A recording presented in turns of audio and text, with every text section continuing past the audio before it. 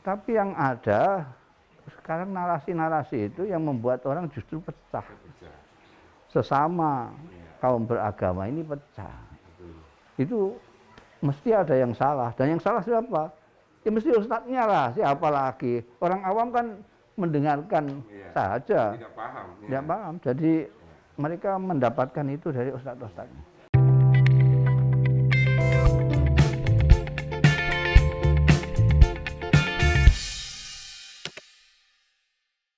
Assalamualaikum warahmatullahi wabarakatuh. Waalaikumsalam. Jumpa lagi bersama saya Sulet Tahir. Kebetulan hari ini kami di Rembang di kediaman Al Fadil Al Ustaz Haji Ahmad Mustafa Bisri. Eh, Semoga Allah Subhanahu wa taala senantiasa memberikan beliau umur yang panjang, Amin. kesehatan beliau terus dapat mengabdi demi agama, nusa dan bangsa. Amin. Amin. senang sekali bisa berjumpa dengan Gus hari ini. Eh, tentu Gus kita banyak mengetahui sekarang ini tentang perkembangan situasi, terutama di media sosial, khususnya yang terkait dengan eh, narasi-narasi keagamaan yang cenderung eh, sebenarnya tidak memberikan atau dampak eh, dampak positif kepada masyarakat dalam artian cenderung memecah masyarakat. Nah, karena itu kami menyadari bahwa betapa pentingnya sebuah narasi-narasi yang dapat mendorong orang untuk tetap bersatu, eh, rukun dan damai dalam eh, hidup di negeri ini. Oleh karena itu, saya mengharapkan Gus untuk bisa memberikan sedikit mungkin wejangan-wejangan kepada generasi-generasi muda karena masyarakat Indonesia umumnya, umumnya adalah masyarakat yang eh, moderat akan tetapi mereka lebih banyak diam dan tidak hanya acu tak acu dengan persoalan yang ada ini. Nah ini adalah sesuatu yang harus kita eh, bicarakan bersama karena kalau kita membiarkan mereka takutnya nanti eh, terjadi sebagaimana yang terjadi di negara-negara lain yang dimonopoli oleh kelompok-kelompok ekstrim. Silahkan Gus. Ya, Assalamualaikum warahmatullahi wabarakatuh. Jadi saya selalu menasihati anak-anak saya supaya jangan berhenti belajar. Sebab orang itu selama masih belajar, dia akan tetap pandai. Begitu dia berhenti belajar, mulailah dia bodoh. Apalagi itu persoalan agama. Persoalan agama itu ada banyak sekali apa namanya gejala-gejala itu orang tidak sabar. Ngaji itu, belajar itu misalnya baru sampai bab ghadab berhenti karena ingin segera apa namanya menyampaikan ilmunya kepada orang lain padahal ilmu ini belum sam, baru sampai bab ghadab, bab marah. Kalau berhenti dia akan marah terus. Padahal di setelah itu ada bab sabar, ada bab tawadu, ada bab tafahum, tak sembuh segala macam lah ilmu. Jadi saya minta terutama kepada mereka yang sudah terlanjur didengarkan orang sebagai orang yang mempunyai pengetahuan agama itu jangan berhenti pelajarilah lagi gitu loh kalau kemarin belajarnya Al-Quran hanya lihat terjemahan dari Kementerian Agama itu itu sekarang belajarlah tafsir. Kalau kemarin itu hanya mendapatkan ilmu dari pengajian-pengajian umum sekarang cobalah belajar yang sungguh-sungguh kepada kiai yang memang mempunyai sanat keilmuan keagamaan itu.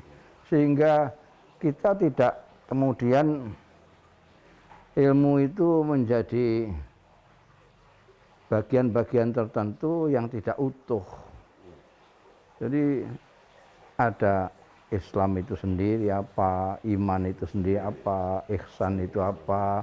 Kemudian soal jihad misalnya, jihad itu kan orang hanya memahami jihad itu perang melawan orang musyrikin. Itu tok. Ini berarti ya perlu dia ngaji lagi, belajar lagi tentang jihad itu apa.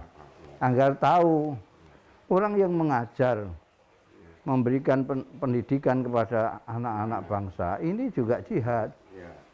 para tenaga medis yang sekarang berjuang mau menolong saudara-saudaranya yang kena COVID itu juga jihad.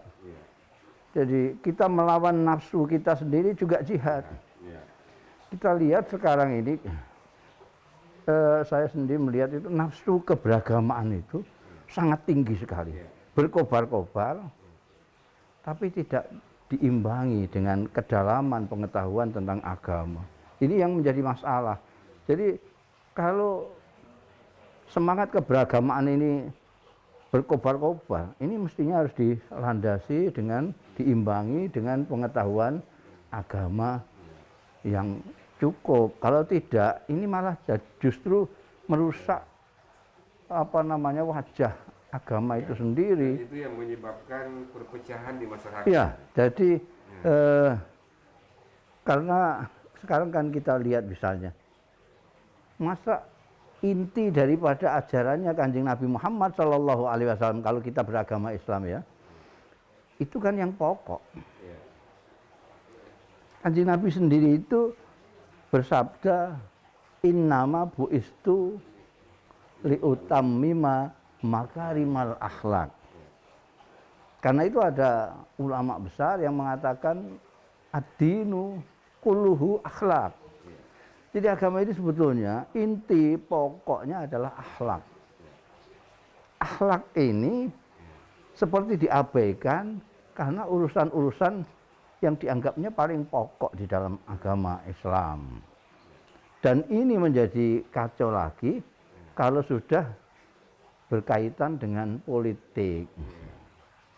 Ketika politik dalam pengertian politik praktis tidak menggunakan akhlak atau dalam bahasa orang kotanya tidak beretika, itu apalagi orang yang berpolitik tidak mempunyai modal keahlian dalam soal politik, akhirnya dia ngambil agama untuk kepentingan politik. Nah ini lebih bahaya lagi ketika politik yang sebetulnya tujuannya kekuasaan, tujuannya duniawi, lalu didukung oleh apa narasi keagamaan. Ini orang-orang awam yang nggak ngerti, itu disangka agama pure. Dan itu lalu kemudian itu yang terjadi sekarang. Iya. Lalu kepada mereka yang aliran politiknya berbeda atau partainya beda, Iya. lalu menganggap sana itu tidak benar, sini benar. Sana kafir, sini mukmin. Iya, iya, iya. Dan itu bahaya. Karena itu dari awal saya mengatakan, Bu, kalau tidak ngerti politik, mbak usah, enggak usah politik. Karena banyak pekerjaan, dagang juga bisa, jadi polisi ya bisa, jadi orang kantoran bisa. Ya, itu kan banyak, tidak harus berpolitik kalau memang nggak ngerti. Jangan sampai berpolitik tapi kemudian menggunakan narasi-narasi keagamaan Iya. yang sangat apa namanya agama itu kan universal sekali ajaran-ajarannya juga luar biasa tidak merupakan hanya fanatisme sesuatu kelompok golongan nah, jadi kita itu perlu itu selalu menggembolkan soal akhlak ini. Ini yang penting. Kita membicarakan misalnya eh, kalau kita baca di medsos itu itu yang beragama itu pertanyaannya gimana doa-doanya dapat rezeki banyak? Kan gitu. Gimana doanya supaya dapat jodoh? Iya, iya. Kan harus gitu. Gimana kalau saya mimpi begini? Iya, ini bagaimana menurut agama? Itu ini kan ya kalau dianggap penting penting tapi yang lebih penting Betul. untuk untuk terutama untuk harmonisasi kehidupan kita bermasyarakat itu adalah soal akhlak ini. Saya itu menyerulah kepada ustadz-ustadz siapa pun ini didahulukan soal akhlak ini.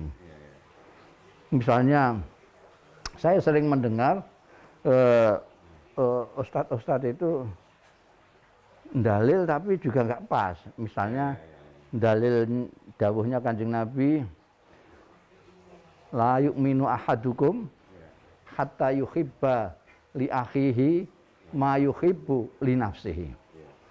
Itu sering kali diartikan tidak sempurna iman salah seorang di antara kalian sebelum menyintai saudaranya seperti menyintai dirinya sendiri. Iya. kebanyakan begitu mengartikan.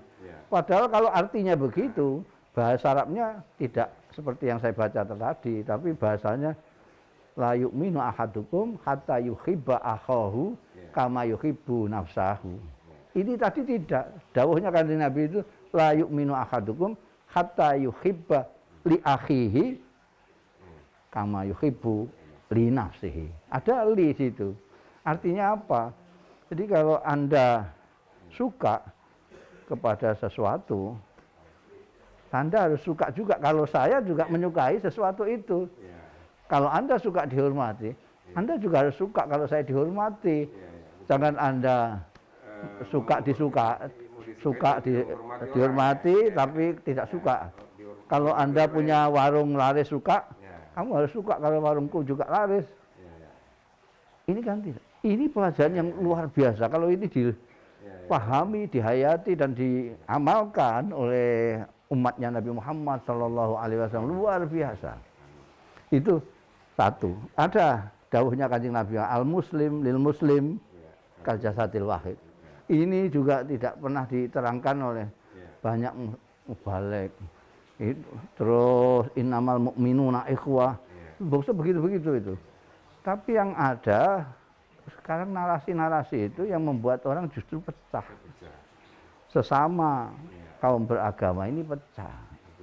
Itu mesti ada yang salah. Dan yang salah siapa? Ya mesti ustadznya lah, siapa lagi. Orang awam kan mendengarkan Iya. saja, Tidak paham. ya. tidak paham. Jadi mereka mendapatkan itu dari ustadz-ustadznya. Maka saya pikir kalau nanti ada di yaumul hisab Ya. ini menjadi suatu masalah, maka ustadz-ustadz yang menebarkan Ya. narasi narasi narasi kebencian, narasi narasi perpecahan itu yang paling di, Paling awal di paling awal. ya, Ya, ya. orang awam kan ikut saja.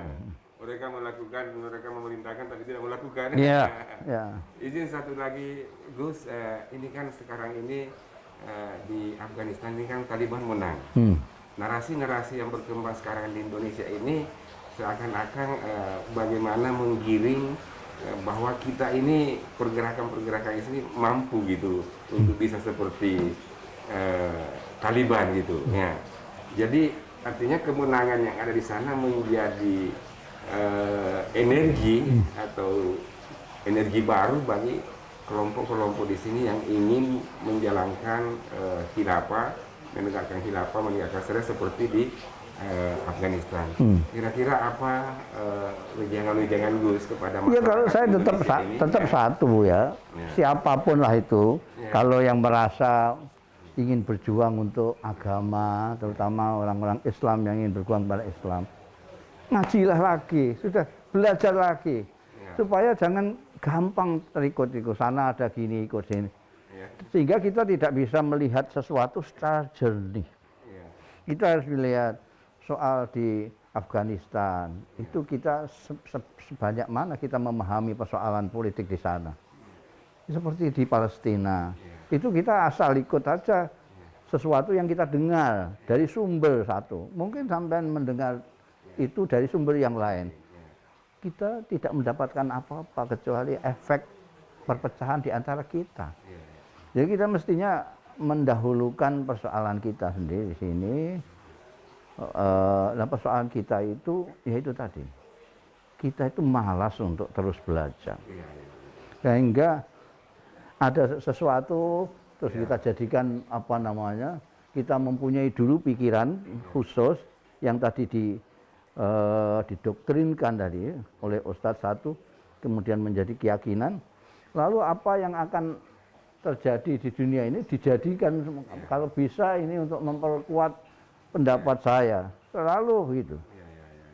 ini dan itu sering kecelek sering kecelek Ya. Ya. Ya. satu ketika ada yang apa mendukung-dukung ISIS. ISIS, keliru karena sekali gitu terus adugan dipuji-puji ini nanti ke- kemudian ada yang Ikhwanul Mukmin dihebat-hebatkan bersamaan dengan Saudi ternyata Saudi menganggap ini teror nah, itu semuanya tidak tidak dipelajari gitu kita berkali-kali kecelek karena apa karena tidak pakai landasan ilmu Ya. Ya. Ya. semuanya membutuhkan ilmu. Kalau tanpa ilmu kita akhirnya ikut-ikutan. Lah kalau yang ikut-ikutan lalu diikuti lagi. Ya, Oh iya, kan kacaunya ya? kan tidak karu-karuan. Ya, ya, Jadi ini yang paling bertanggung jawab. Jadi mereka, ya, menurut saya, mereka ya. yang di- sudah didengarkan oleh orang, Ya. orang banyak terutama, orang yang sudah dalam posisi didengarkan orang, ini harus lebih berhati-hati, Iya, iya, harus lebih berhati-hati. Kalau kurang ilmunya belajar lagi. Jangan kemudian dia didengarkan orang banyak menarasikan sesuatu yang tidak benar dan itu dampaknya luar biasa, luar biasa. Jadi ada sedikit peristiwa di dunia kemudian dijadikan juga narasi untuk Contohnya apa diikuti. untuk iya nah ini diikuti lagi. Iya, Nah itu di medsos itu sekarang umum begitu. Karena itu apa namanya sekali lagi iya. inti daripada ajarannya kanjeng Nabi Muhammad Sallallahu Alaihi Wasallam. Kalau memang kita mengakui bahwa kanjeng Nabi itu pemimpin agung kita, Iya. Itu perlu harus selalu diajarkan kepada umat. Ini loh contohnya kanjeng Nabi, inilah ajarannya kanjeng Nabi. Dan itu semua seperti pernyataan kanjeng Nabi untuk menyempurnakan akhlak. Kalau kemudian eh, di dalam masyarakat ini terjadi goncang, itu jelas akibat akhlak yang tidak diperhatikan. Terima kasih banyak Gus. Sebenarnya Ya. kami ingin sekali masih lama-lama bersama sama Gus, tapi karena waktu ini kami eh, akhiri sampai di sini. Oke. Terima kasih eh, seluruh pemirsa di mana pun berada. Eh, semoga kita senantiasa selalu dalam keadaan sehat Amin. walafiat di Amin. tengah Amin. pandemi ini. Amin. Salam hormat kami untuk Gus, semoga beliau senantiasa dalam keadaan sehat walafiat di tengah Amin, amin, amin, Terima kasih, terima kasih. Saya akhiri dengan ucapan Assalamualaikum warahmatullahi wabarakatuh. Waalaikumsalam warahmatullahi wabarakatuh.